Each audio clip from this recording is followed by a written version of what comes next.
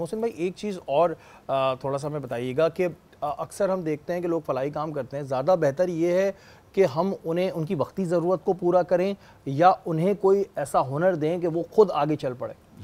बहुत प्यारा सवाल। अल्लाह ताला आपको तरक्की दे। ये जो सवाल आपने किया, असल इस सवाल को समझने की ज़रूरत है। आज हम समझते हैं कि एक महीने का राशन दे दें तो शायद इसकी ज़िंदगी जो है ना वो गो के वो हाँ, भी अच्छा वो भी अच्छा काम है। हाँ। बिल्कुल जो शरी हुक्म है कि मैंने आपको पहले दिन किया खाना खिलाना क्या साहब है। लेकिन उससे भी बड़ा अमल ये कि एक मुसलमान और एक मोमिन की वो मदद की जाए जो ज़िंदगी में उसके हर मरहले पे काम आ जाए। तो अफजलियत अमल अमल यही है कि आप उसको अपने पैरों पे खड़ा कर दें यहाँ तक कि वो मोहताजगी से निकल कर वो खुद लोगों को देने वाला हाँ, क्योंकि हुनर जब आप किसी को मिल जाता है तो फिर वो जो है कंटिन्यूसली अपने आगे चलता रहता है।